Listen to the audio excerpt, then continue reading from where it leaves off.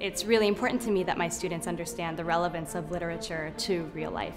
So to that end, many of my assignments are emulative assignments in which students are asked to use an author's literary techniques or devices to share a personal narrative. Right now, my sophomores are studying the Odyssey and are being asked to share a phase from their own lives that they now recognize to have been an Odyssey um, using Homeric techniques and devices. I think one of the features that makes Léman Manhattan such a unique place to, to learn and to teach is our location.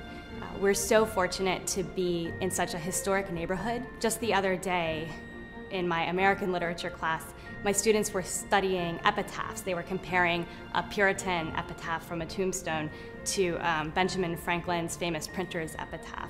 And one of my students said, Hey, Miss Khan, why don't we walk over to Trinity Church and study the gravestones there? I spoke with Headmaster Alexander, and, and he's excited about the idea. I think that that's the kind of opportunity we, that we have here that you don't just find anywhere.